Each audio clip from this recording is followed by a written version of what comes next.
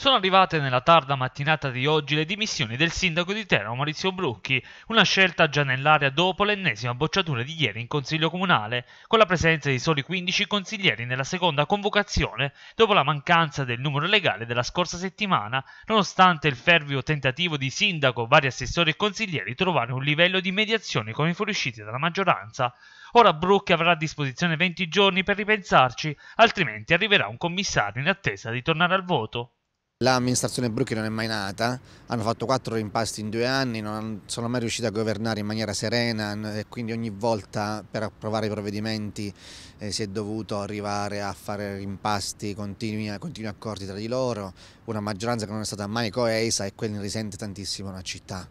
quindi tanti provvedimenti non sono stati presi, rimandati, il PUT, il piano traffico non è mai stato portato a termine, i vari regolamenti, insomma la città non è stata mai governata, quindi è giusto che a questo punto eh, questa amministrazione vada a casa e si riparta da zero. Ecco.